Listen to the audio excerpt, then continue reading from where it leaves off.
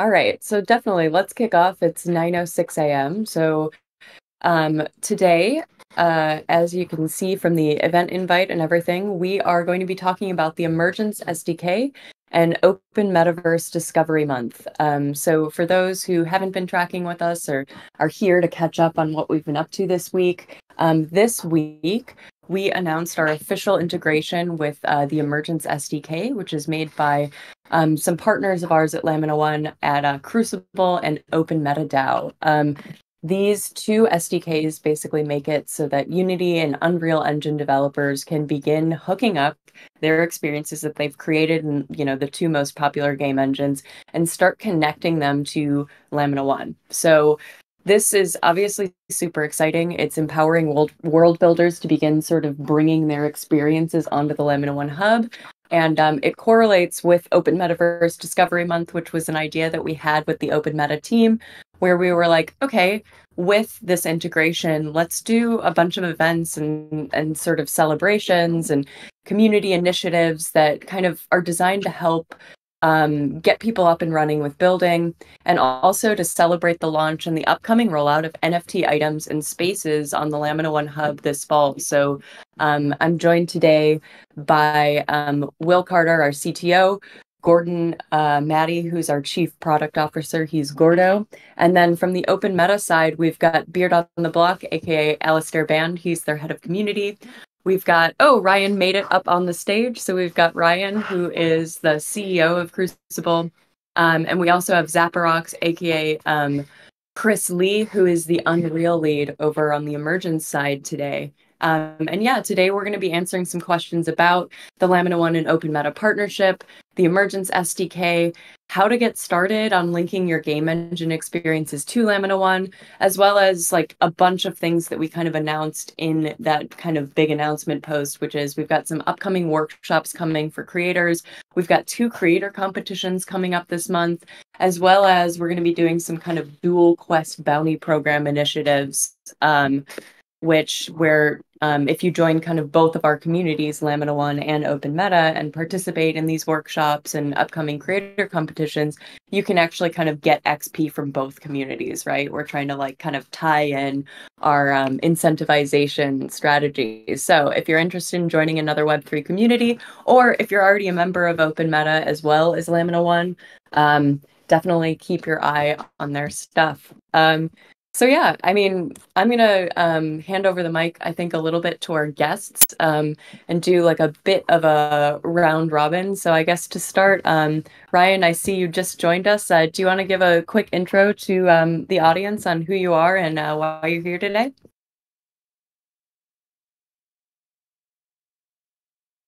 This is also a sound check for Ryan.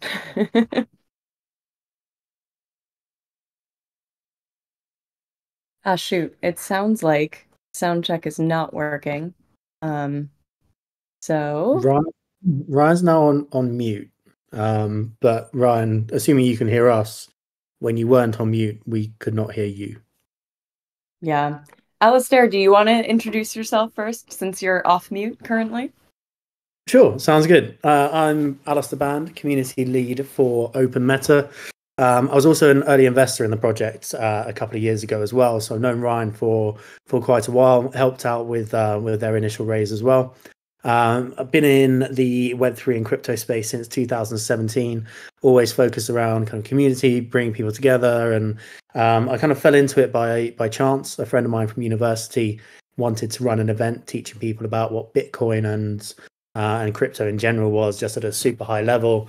Um, and throughout university, I was organizing events, I was social sec for the ski club, etc. So um, said, sure, I'll, I'll, I'll help you out.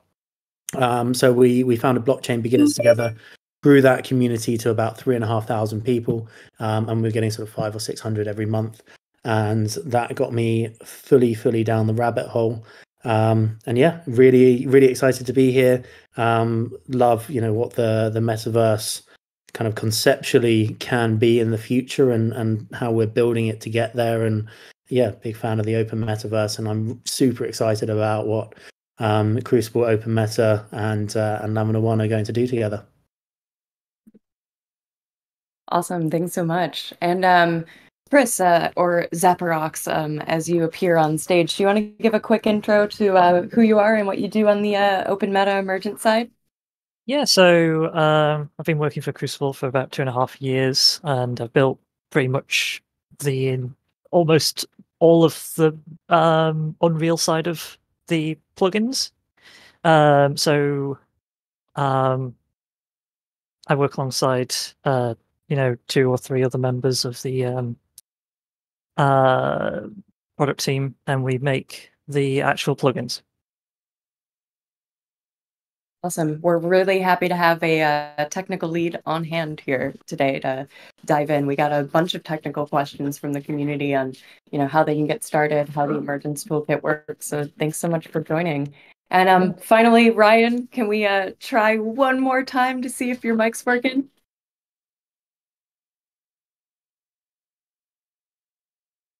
We're we're currently trying to troubleshoot via WhatsApp, so um, we might have to have to skip through a little bit on that one and, and come back to it. Um, but I can introduce Ryan very very briefly. Um, Ryan started building Crucible back in 2018 um, with the concept of of the open metaverse and building some tools around it. Um, very quickly realized that you know it's it's bigger than just a company providing tools. Um, and that's where the idea for Open Meta um, DAO as a community came around.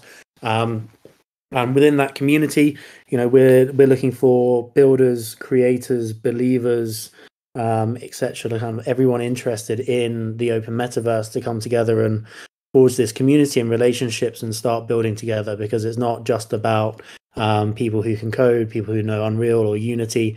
Um, it's about those that can create content, come up with ideas, and you know there really is a spot for everyone within within the Open Meta community. So um, if you haven't already joined our Discord, cheeky little plug here, please do. It's discord.gg forward slash Open Meta.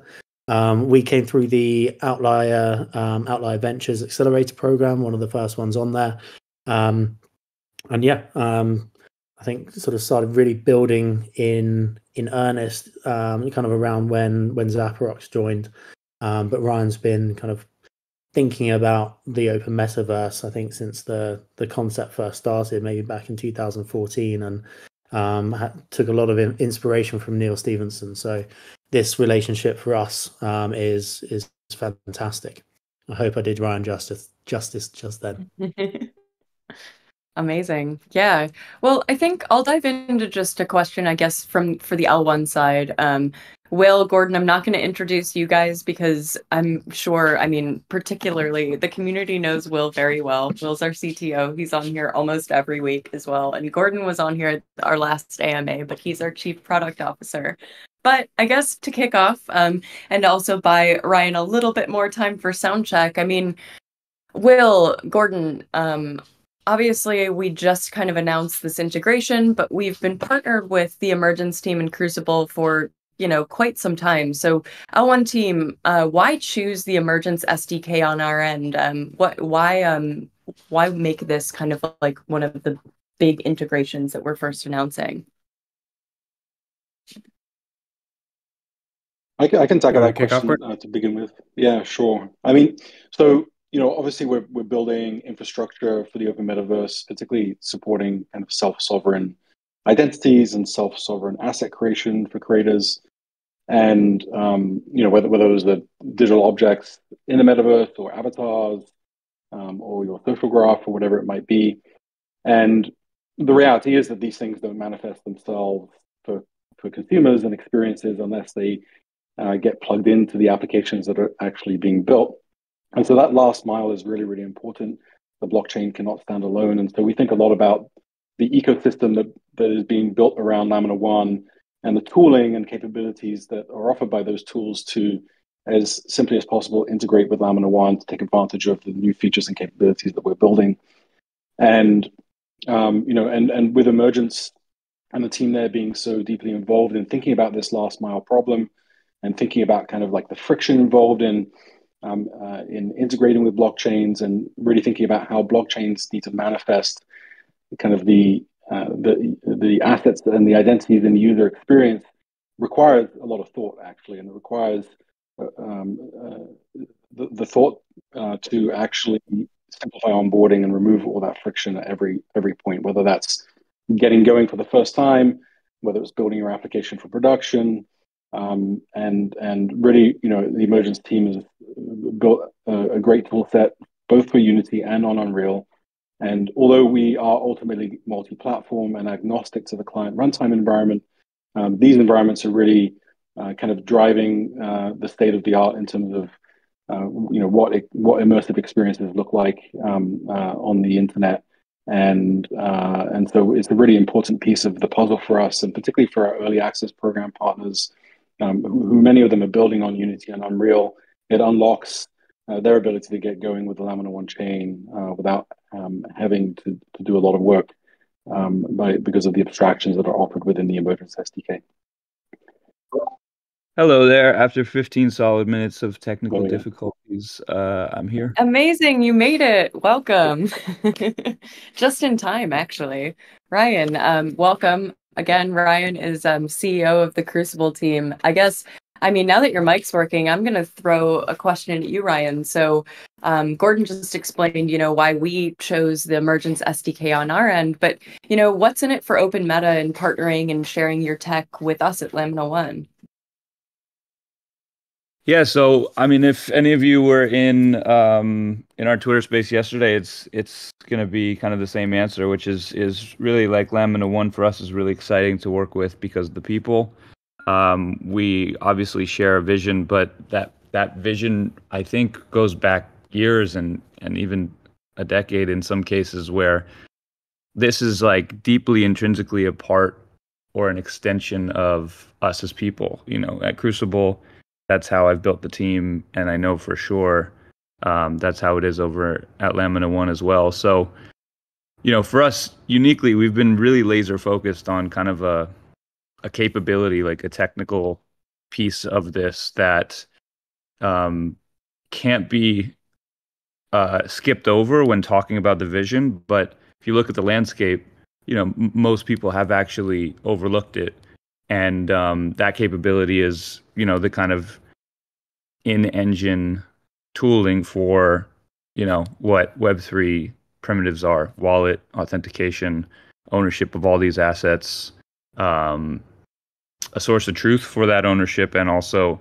you know the the kind of framework that is needed for the interoperability uh, of these things. So we're at a stage where the tech works. It's it's um, we've been able to achieve something technically and and we've been able to make this as easy as we could possibly make it. And you know the easiest in the market to get started 10 minutes you know and you're up and running. Um, you need to learn a little bit about you know what web3 is and how the tech works but we've really wanted to make it feel more like game development. It's it's kind of taking web3 and making it game development and and doing that for game developers. So Lamina One as you know a company that's building tech and and also working for these these developers. You know, we're just excited now to like get it into the hands of the people that it's built for.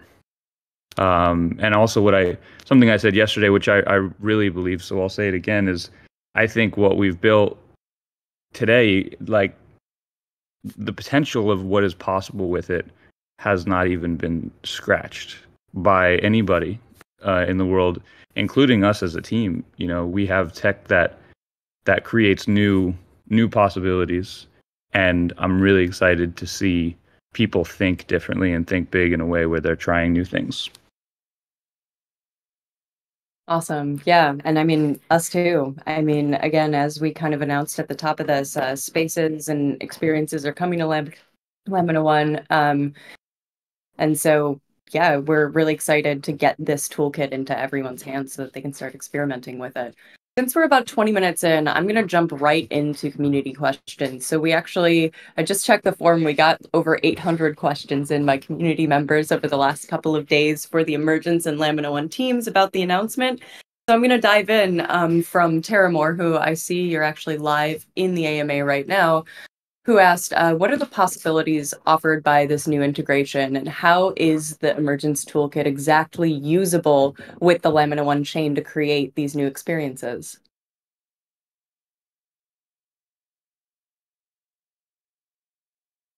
Shall I take this question, I guess? Or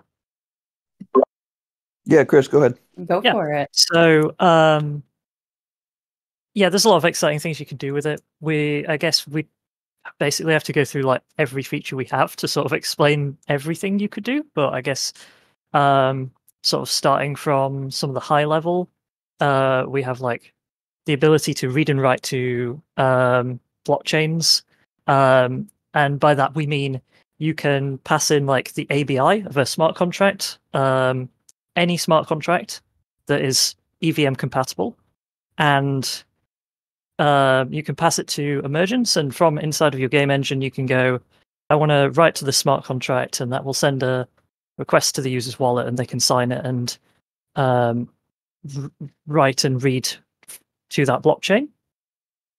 Um, we have an avatar system, so you can do interoperable avatars using any um, avatar that has a VRM associated with it.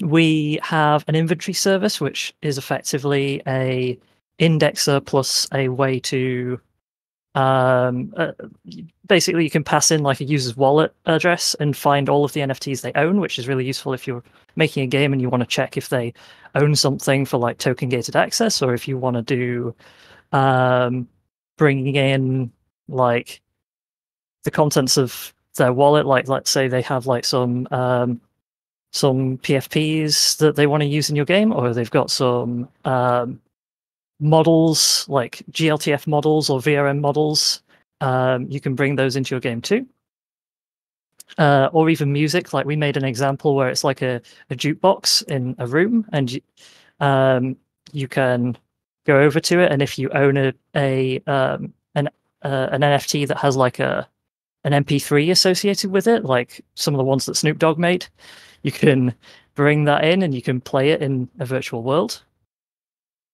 Um, we've got a dynamic metadata system, so you can like um, let's say you you're making a game and you want to associate some extra data with an NFT um, at like runtime from your game, but you don't it, that NFT doesn't necessarily have like a function that you can call to update its metadata itself. You can basically stick on extra bits of metadata that so you can go, okay, this NFT now um, has like this power up on it, or it's been enchanted or something.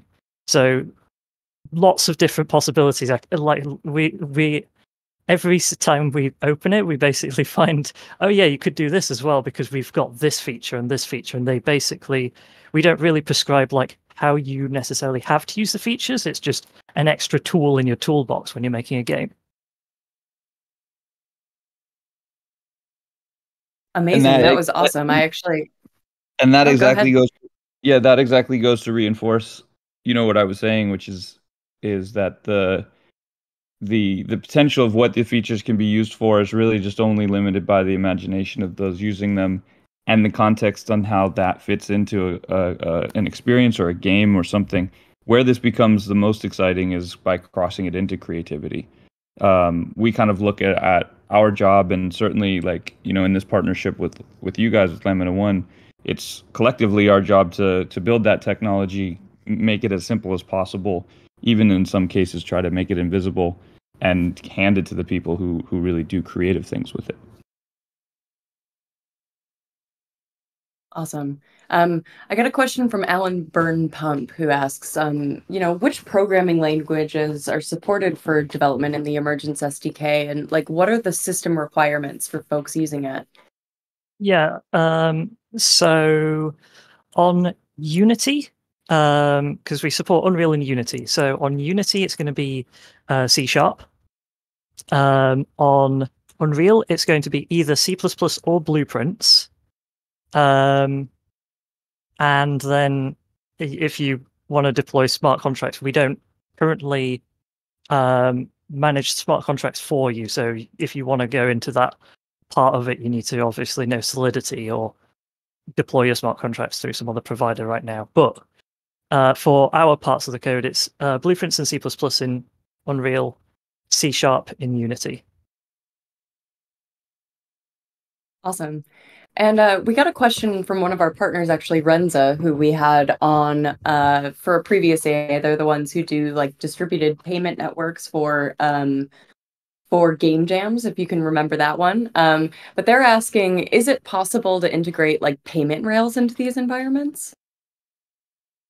We so emergence is a is a, a tool for that allows you to add Web3 to games that you're making where when when we don't prescribe like an environment as such.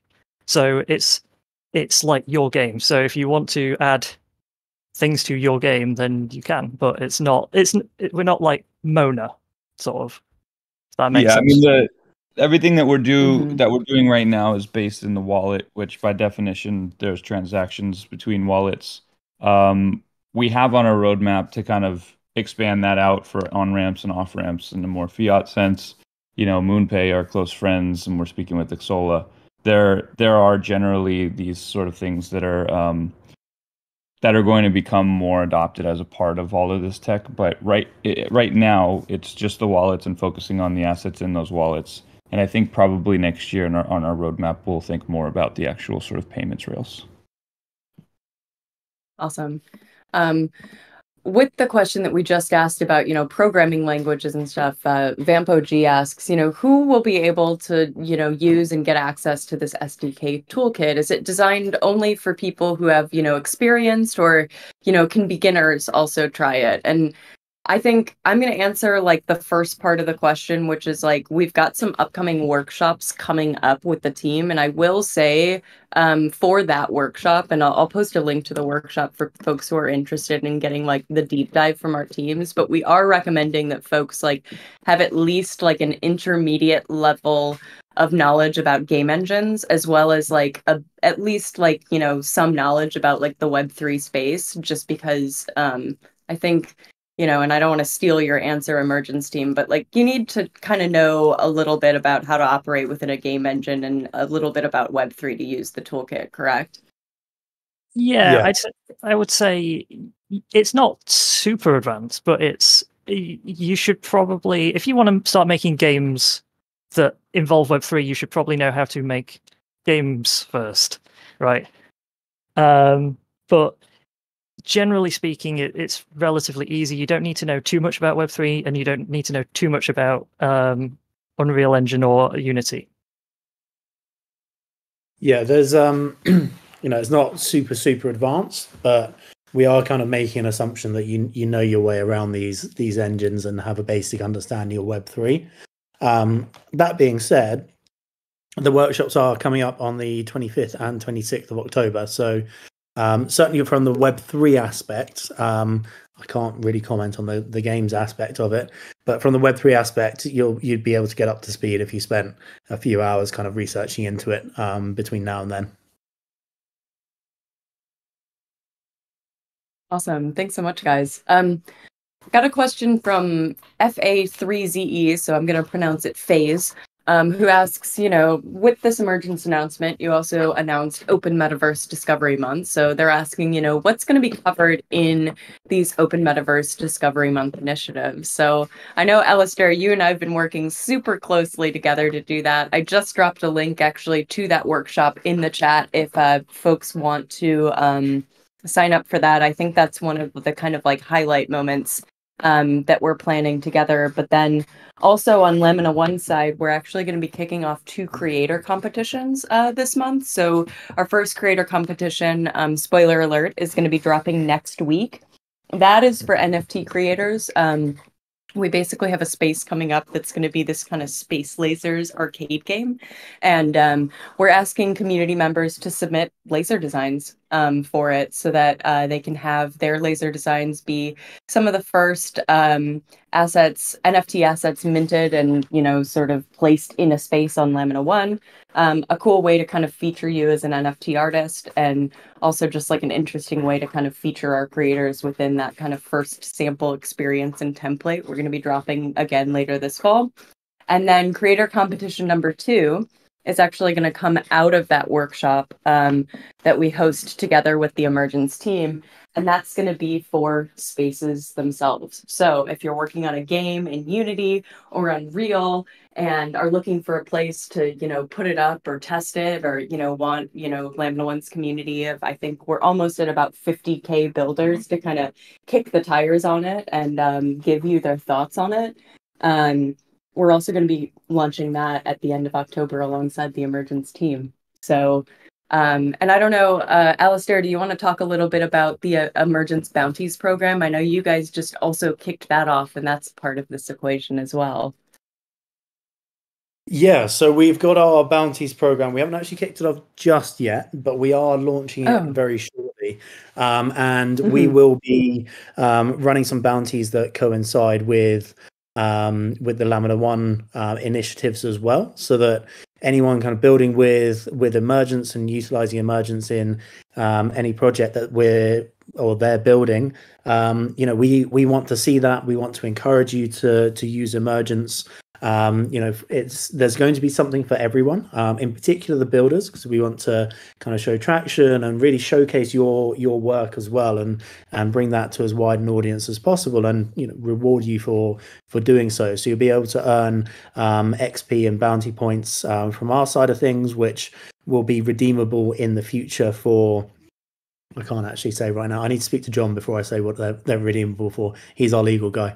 Um, but they will be redeemable for something very, very exciting. Um, probably OMeta tokens, depending on the uh, jurisdiction that you're in, because obviously we've got some um, places that we, we can't give OMeta tokens to right now. Um, but there there'll be other options um, available as well.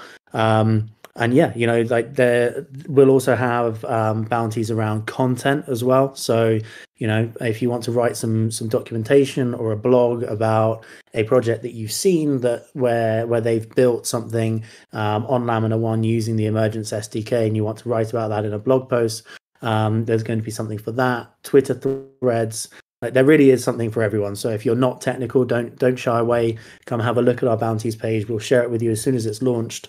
Um, and yeah, super excited to kind of combine these two initiatives together.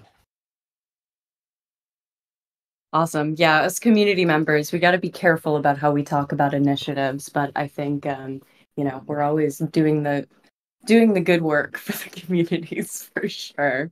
Um, I actually want to jump into another question just about the Emergence SDK a little bit more, you know, before we kind of dive into, you know, the open metaverse discovery and we also got a ton of questions about just like what the upcoming launch of spaces are going to be but i think um something i really wanted to talk about especially with you ryan is like you know we got a couple of questions from community members asking you know what makes the emergence sdk like different than other sdks out there like why use the emergence sdk as a like there's there's i know that there's there's not too many, you know, SDKs built for game engines out there, but it's definitely been a year where like multiples of these have come out. So I'd love to hear from you, like what you know, what you what the Emergence SDK can do for game en- engine developers and what makes it different.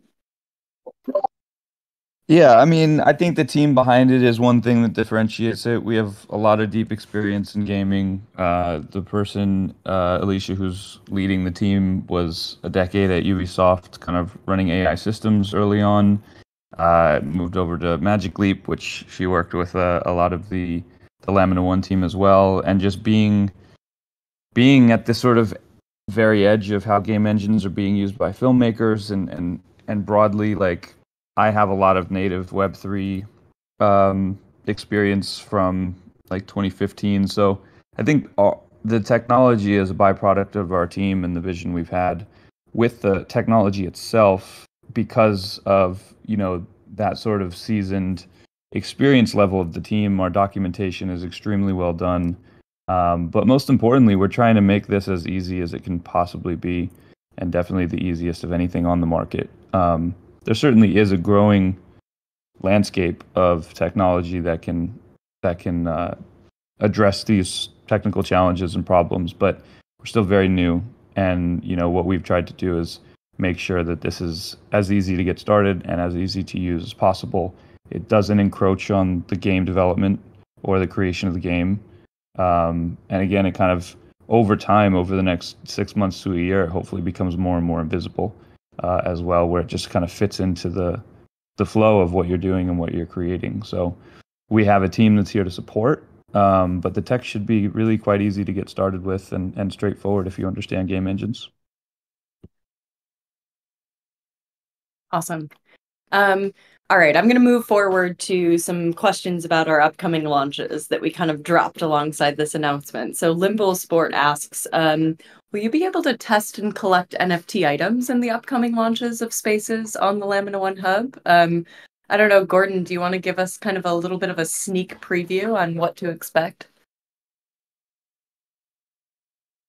Yeah, so I think that the um, yeah the way the way that we think about it is the, you know the, the the user experience has to have a very high payoff, right? Like we're talking about the interoperability of assets, and we can get all kind of caught up in the technical specifications that are required to support that and how the systems integrate with one another.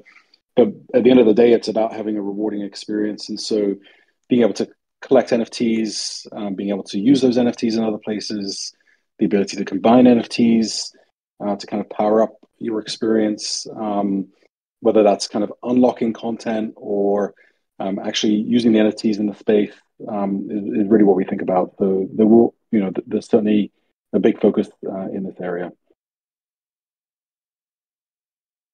Amazing. Um, Anunmai asks, um, is there like, I mean, you kind of already answered this a little bit, Gordon, but Anunmai asks, is there a plan for connecting Lamina One spaces together in a cohesive way in the future? For example, a big hub that is a space itself or a network of hubs that a developer could like opt into?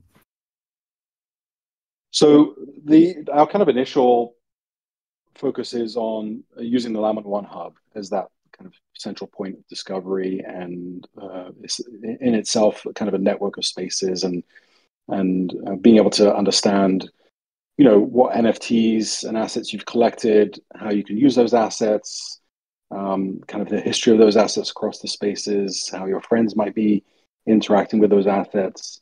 Uh, and so um, so really the hub is the kind of central point for everyone whether you're a creator a developer or a user. Um, the nice thing about the kind of architecture of a shared public network like this with you know with, with a public ledger powering it is that anyone can build a similar experience because uh, ultimately assets and spaces um, are, and identities are declared in a way that um, anyone can integrate with. So we imagine people might want to create a space that um, is immersive and 3d that enables you to explore lamina 1 in a different way um, certainly, certainly, uh, the, the power of the blockchain is is that that's open to you to do that, and it's completely permissionless. Uh, we, we, certainly wouldn't want to stop you, and couldn't even if we wanted to.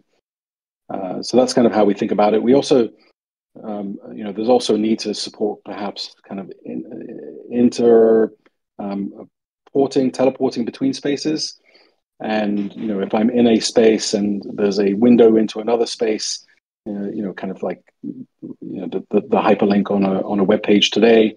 You know, how do we mimic that hyperlink kind of experience within uh, within space experiences so you can go from space to space to space, and it's all very transparent to you in terms of um, you know bringing your identity and your assets with you essentially as you and your avatar as you do that. Uh, there are some challenges there in terms of supporting that type of capability. I know the OMA3, the Open Metaverse Alliance for Web3, um, uh, standards group is heavily looking at this area right now in terms of defining requirements in order to define technical specifications to support this. Uh, requirements include things like, you know, when I go to one space to another, uh, does the user need to identify themselves in a particular way? Like perhaps that space is an adult only space, and so they need to ensure that you agree to their uh, policies, etc., um, for accessing that space. Um, and so things like this kind of make it a little bit more difficult um, uh, but it's it's not too dissimilar to what you deal with today when I go from one website to another and I have to, you know, agree to the terms and conditions of the website that I'm using um, in order to use it. And so, uh, you know, we, we see we see a need for these types of things um, happening within kind of spaces as well. Awesome. Um, Mark B asks, what are the genres of metaverse spaces that Lamina One is going to be launching or sort of looking for? Um, you know, now that we've got this emergence toolkit ready and we're we're asking people to start experimenting with it, like what are we looking for? Well, we we we kind of look across all the different domains that are really influencing culture. So whether that's gaming or fashion, music, film, television, art, sports, literature, you know, which are which are these spaces uh, or these um, areas where there's a huge amount of uh, you know user-driven content or kind of um, you know the creator creator economy is really um, really born around these these kinds of uh, content areas, and so uh, and, and, and gaming is you know certainly over the last ten years or so really um, kind of hit and the next level in terms of how important it is um, in the context of these kind of uh, these categories. And there's a lot of interrelationship between these different categories as well. Because you know, I can be uh, creating a game, but the kind of the IP and the story and the assets that are being used in that game might have come from a film.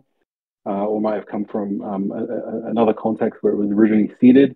And so this is why we think kind of interoperability of assets and the IP and the rights and royalties around those assets is really, really important because for someone that's really investing in, for a creator that's really investing in, and, you know, defining, um, uh, defining uh, the, these culturally influencing kind of memes and objects and stories, it's really important that they have the ability to control how those things are expressed across these different these different domains and different different applications. Um, so yeah, largely kind of entertainment, I would say, is a good way to think about it. But it really spans uh, any category where there's a huge drive for independent creatorship. Yeah, awesome. Um, and also, uh, sort of related to, you know, aside from genres, uh, Mihail DM is asking, um, what format are you looking for these spaces to be in? Like VR, browser, downloadable? Like, uh, is there any sort of like format that we're looking for? I think um, we think about what's the best way to get these experiences in the hands of as many people as possible, and um, so really it's it's around accessing it through um, mobile or a browser, um, and that could be that could be it could be downloadable as well. Obviously, triggered through a browser download uh, or through an app store. Um, I think spaces within VR are a bit trickier really because of the distribution. Like there's a really limited reach there. Uh, certainly, you know, most of the people that we know that are building kind of VR experiences really also think about how they might manifest that within uh, within a you know a flat screen experience within the browser um, or or a downloadable application, so they can reach as many people as possible. Uh, but certainly, we're, we're starting, I think, with the with the most impact to begin with. Um, and emergence and uh, maybe you guys want to talk a little bit about kind of how you think about this?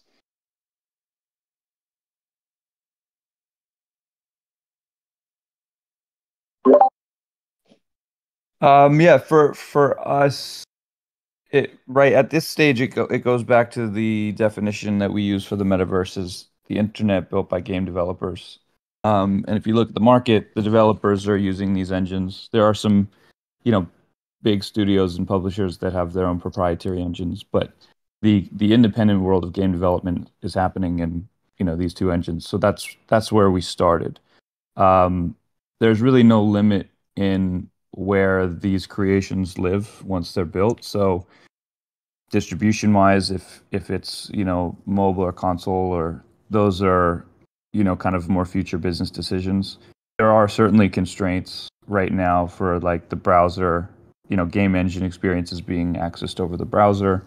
There's pixel streaming it's very expensive and ultimately in the grand scheme the web's more accessible and so these things will need to you know kind of work themselves out. Um, so we do we do very much plan on opening up more and more so that things are more accessible but at this stage we've been you know kind of really focused on the uh, the game engines whether that is built for AR VR gaming, um, whatever format gaming that is, or mobile, um, other than just the challenges when it comes to just you know kind of outright blocking things with wallets or uh, you know technical hurdles.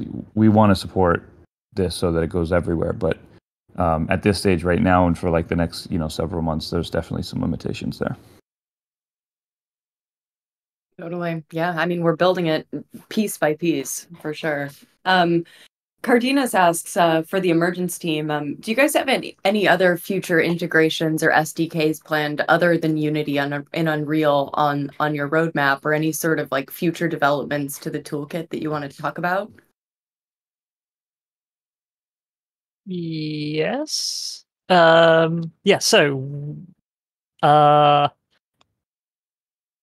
as for integrations, I don't know how much we can talk, but uh, I can talk about features. Um, so um, we're constantly trying to improve the DevX. Um, that's our main priority.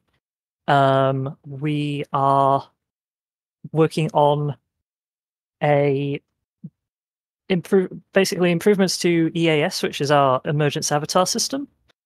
Um, we're currently trying to make it do VRMs better.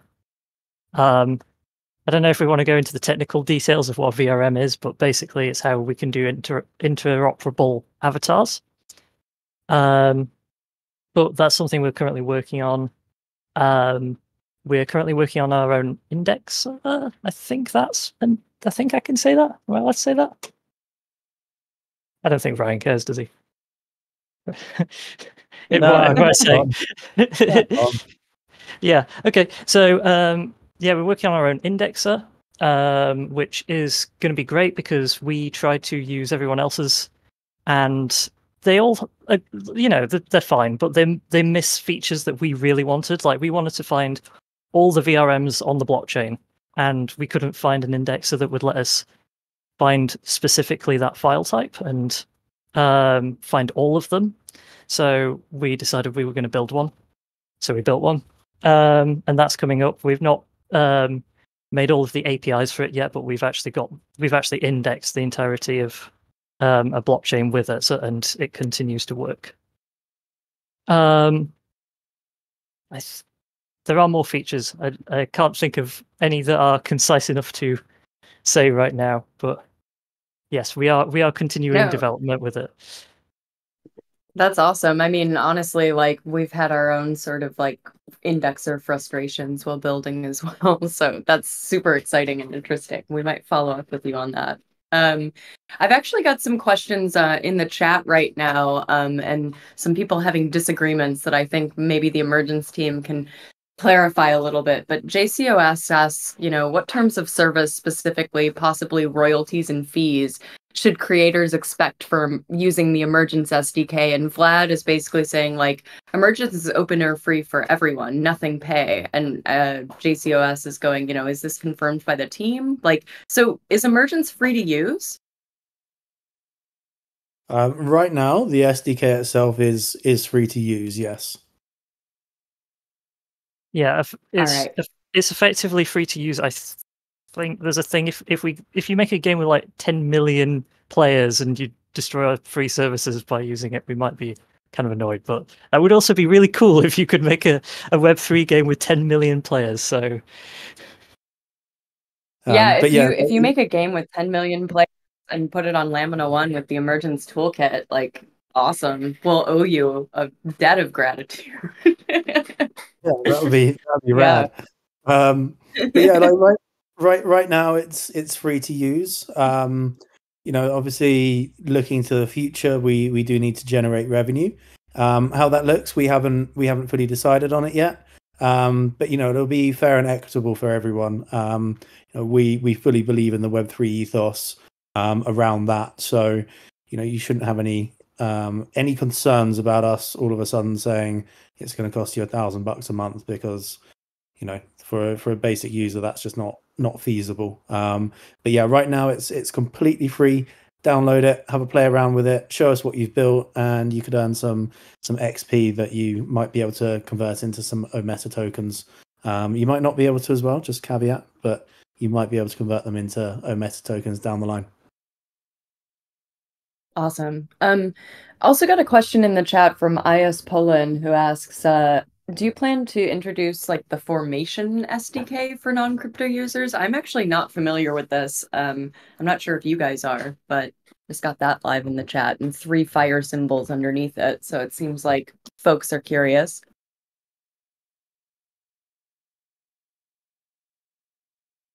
Do we know the answer to this? Or do we need to check it out? uh, so, so where is this? The it's in the chat uh, by IS Poland. Do you plan to introduce the Formation SDK for non-crypto users? Interesting. Uh, I don't know what that is. I'm sorry. getting into live questions. Oh, interesting. Well, um, IS Poland, if you want to uh, share us a link to the Formation SDK you're talking about in the chat, um, feel free. Interested in it. Um, is that, is and I guess uh, AWS SDK Cloud Formation. Perhaps? Yeah, that's what comes up when I search for it. I don't. Hmm. Yeah, I'm that's what JCOS is wondering about that. Yeah. I sort of read the question like, will you create or form an SDK for non-crypto users? Which I think is something that the team has already said that that is like a huge part of their vision, which is to make this as easy as possible for non-crypto users to focus on creating rather than messing yeah. with the specifics of Web3 tech. Totally. Yeah. Um, also, Max Easy and someone with a bunch of numbers is their handle that I'm not going to read out loud here. Ask, um, you know, apart from Web3 integration, uh, are you guys on the emergent side planning for like Unity integration on on the mobile side as well? We got, we got a couple of questions about kind of like mobile integrations. So mobile. So so currently, for it's worth mentioning for, for um, Emergence, we currently only support um, PC and Mac um, for both of them for deploying on them. Um, we uh, we have looked at mobile, but we kind of need to do a lot of ch- other changes first. Um, like I've actually had it running on an Android mobile phone, but it it gets a bit awkward to log into because our current login system is you scan a QR code and then you're, holding a phone and it says scan this QR code and you're like, huh? How do I need a mirror or something to scan it? So um, we need to basically rewrite our login system for mobile, but there is a plan for it, certainly, and there's also a plan for web as well. But again, there's differences there as well. Awesome. Yeah, Erasmus was like WebGL, so yeah, that's perfect. Um, yeah, and I think I guess to kind of stop, it's been interesting. The chat feed has now sort of uh, gone into some discussion on, you know, when do we think the metaverse is going to happen? Obviously, we're laying the initial foundation of it right now, and there's a lot of building left to do. But I like kind of a- ending on like kind of big questions here in the AMA. So I guess can we just do like a little bit of a round robin, like um when do you guys think we're going to be able to you know transition into a more like metaverse kind of reality online? Um, how far up do you guys think we are? Um, just to kind of jump in on that one i would argue mm-hmm. that um, we're kind of we we already have a metaverse so to speak. Um, right from I think it was back in 1992 or 1993 when email first started. To an extent, that became a metaverse, like a, a, communication layer where you don't have to be in the same place. And that kind of set the foundations for what we're now building with immersive reality projects. Um, and you know, really being able to communicate and build your own identity behind it. Um, but I would argue like the building blocks have been been here for for a few decades now, but um, what, how does the expression go? Slowly, then suddenly. Um, so, you know, it's taken us a long time to get here, but I think the upward trajectory on what's possible and um, how engaged people will be with that um, as a kind of alternative reality will become very, very um, prominent soon. Yeah, if, if you look at the anyone dynamic, else have thoughts? Yeah, if you look at the dynamics of the mental model of the metaverse is not so far different from any other revolution. You look at the agricultural revolution or the industrial revolution, and there's it's very difficult to pinpoint like a singular point at which that started. It, it's if you're living through it, it's it's something that's gradual. Agricultural took very long time. Industrial was a bit quicker because the technology sort of made things more efficient. And now we're doing this again digitally. We had the internet, um, and so the internet is a early stage of what we call the metaverse. So it's um, in a lot of ways we've had it conceptually. We're now having it a little bit more practically. Um, but I think what the question's asking is like, you know, the Ready Player One idea of running around with an avatar and being able to kind of like walk through all of these different worlds. And I think next year will be the first year for that. Wow, next year. I will that's awesome.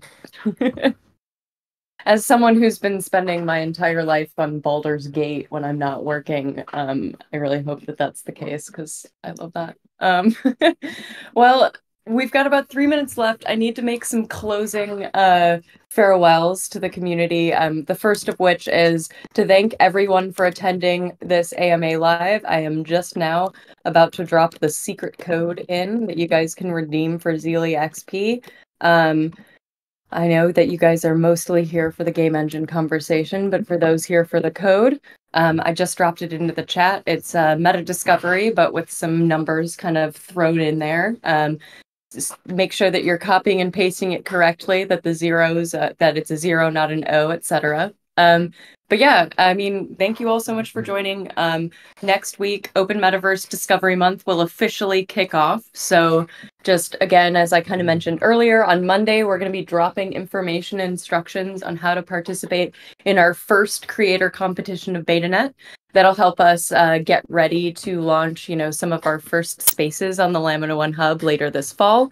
And also, um, just as another reminder, uh, signups are open now for our upcoming Unity and Unreal workshops with the Emergence uh, team. Those are going to be taking place on the Open Meta Discord on October 25th and 26th. Um, Chris will be with us joining. Uh, so will Will. Our SDK lead Joel is also going to be with us, um, and a couple of other folks from the Emergence team end. But you know that'll be a really nice uh, walkthrough on you know how to exactly use the emergence to connect into lamina one if you're looking for you know more than just kind of the documentation and videos that we released this week. It's going to be really exciting. We'll do live q and a's um, and uh, just as like a reminder like we're going to be prioritizing developers for that you know who know game engines. Um, it's not necessarily for total beginners um, but again all of that information's in that invite that i just dropped. Um, stay tuned here and on the Open Meta Discord for um, those co-quest bounty initiatives, um, as well as you know more kind of news that we're going to be releasing as this month progresses. Um, as a side note, we also have a new Emergence SDK channel on our Discord um, where you can reach out to ask questions, submit feedback anytime. Uh, we're going to be, you know, we'll forward any of that interesting feedback or those questions to the Emergence team. So if while you're diving in with the toolkit, uh, you want to reach out, you can either, you know, hit us up on that channel or again, uh, join the Open Meta Discord where you can, you know, contact them directly about all of this stuff. Um, Thank you so much, Chris, Ryan, Alistair, Gordon, Will. Uh, it's been a really great conversation. I think everyone's like really excited. Uh, had a bunch of comments in the chat that this one was really technical and had a lot of meat to it. So really appreciate you guys coming on. Thank you so much for having us. Really appreciate it. And everyone listening in, thank you so much for tuning in and have a fantastic weekend. Yeah. Happy Friday, everyone. Have a great weekend. Thank you. Thanks. See ya.